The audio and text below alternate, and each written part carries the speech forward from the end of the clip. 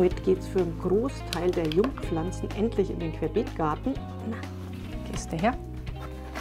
Und das wird ein ganzes Auto voll fast werden, weil alle Salate, die vorgezogenen Bohnen, auch die Kati, die Artischocken, der Choi, all das wird jetzt Zeit, dass es eben ins Beet kommt, dass es ordentlich weiter wachsen kann und dass hier herin wieder ein bisschen Platz entsteht für die restlichen ganz kälteempfindlichen Jungpflanzen, wie zum Beispiel die Kalebassen, die dürfen noch eine Woche da bleiben und werden dann erst gepflanzt.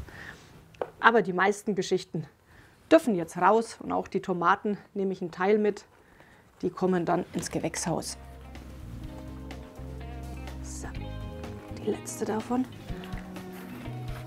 Und dann hole ich gleich die nächsten.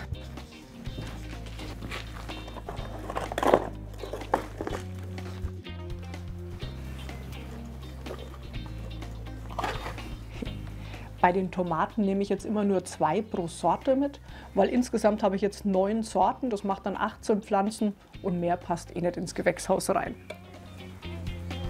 So.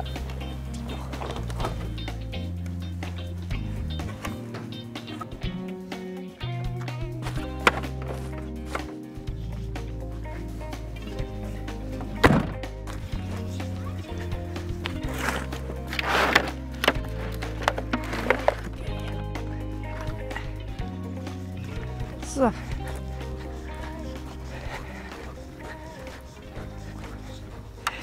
Das ist jetzt so die schönste Zeit, weil alles einfach richtig wächst, was schon gepflanzt ist. Und heute wird dann der Gemüsegarten endlich auch richtig voll mit dem ganzen Nachwuchs hier.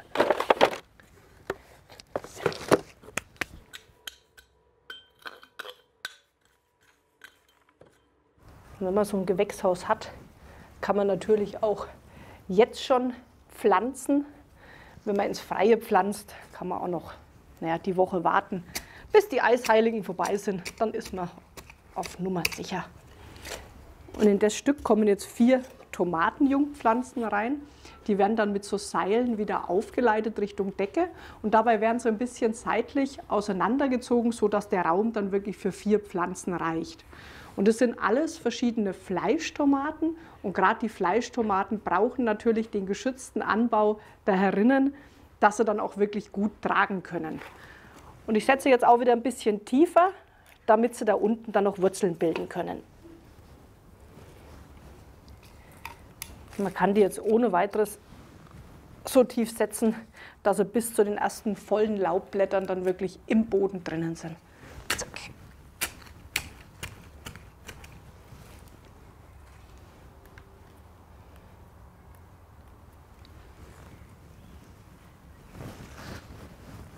Und man merkt richtig, dass denen die letzten paar Wochen die viele Sonne richtig gut getan hat, weil die stehen bombig da für selber angezogene Tomätchen. So, ein Beet weiter.